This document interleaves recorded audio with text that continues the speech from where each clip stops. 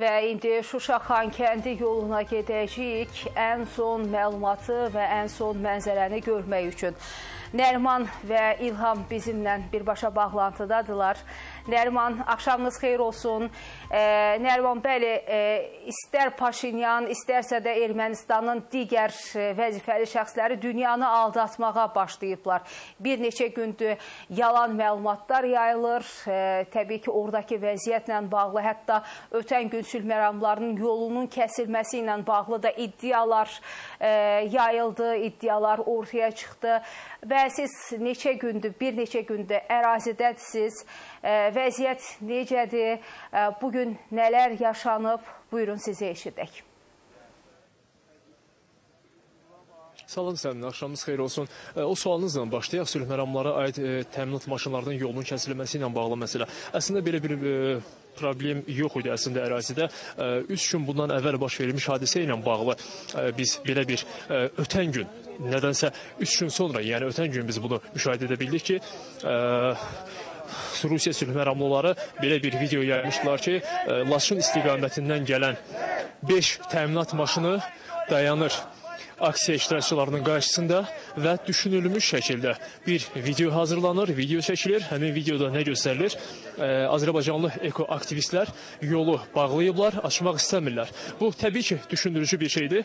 Ə, niyə ondan əvvəlki günlərdə və həmçinin ondan sonraki günlərdə bütün təminat və humanitar yüklü maşınların hər birinə yol açılır, amma sırf həmin gün həmin 5 maşının keçidinə ə, icazə verilmir. Niyə? Bu sual məsələsidir. Amma ə, onlar təbii ki, 3 gün sonra bu videonu yaydılar. Nədən olduğunu e, bir bunun bir qərəzli düşünülmüş şəkildə atıldığı bu addımın bəlli məsələdir. E, amma o günün ertəsi gün, günün ikinci yarısında artıq həmin maşınlar, təminat maşınları keçə bildilər. Ərazidən gəlib keçə bildilər. Hansı ki, həmin gecə geriyə doğru qayıtmışlar yol açılmadığından. Yolun açılmamasının səbəbi nədən ibarət idi? Adətən buraya yaxınlaşan bütün maşınlar yoxlanılır. İstər mülki maşın, istər təminat maşını adı qoyulan nəqliyyat vasitələri, həmçinin bir neçə gün bundan əvvəl biz ambulansların buradan keçidini gördük. Hər iki istiqamətdə. Onların hər biri yoxlanılır. Həmin gün isə həmin 5 təminat maşınının yoxlanılmasına icazə verilməmişdi. Bizim əlimizdə olan informasiya bundan ibarətdir. Sırf bu səbəbdən həmin maşınlar geriyə doğru, yəni Laçın istiqamətində geri qayıtmalı olmuşlar. Dediyim kimi, ertəsi gün həmin maşınlar gəldi və yolu normal qaydada keçə bildi. Təz, e, təbii ki, bu özü də sual doğurur. Niyə bir gün əvvəl o maşınların yoxlanılmasına icazə verilmədi?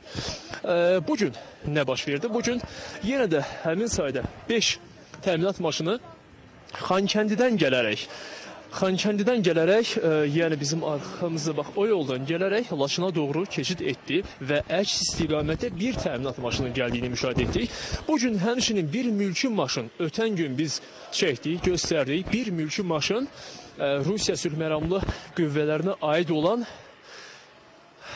bir maşın ötən gün Xankəndidən gəlib Laçına keçmişdi. Bu gün maşın geri qayıtdı. Amma ötən gün biz maşının ön oturacağında gördüyümüz hərbi geyimli şəxs yox idi. Maşında kim vardı, kimlər vardı, yaxud da yox idi. Bununla bağlı Bizim müşahidəmiz bunu deməyə əsas verdi ki, maşın tamamilə boş idi. Kimə aparmışdı, niyə aparmışdı, niyə boş qayıtdı, bununla bağlı informasiya yoxdur əlimizdə. E, təbii ki, müəyyən məsələlər var ki, bunu e, gözləməyə ehtiyac var. Ehtiyatla o məlumatları, informasiyaları çatdırmağa ehtiyac e, ehtiyac var. E, bu gün ərzində əsasən ərazidən keçidlər bu saydığım maşınlarla bağlı oldu.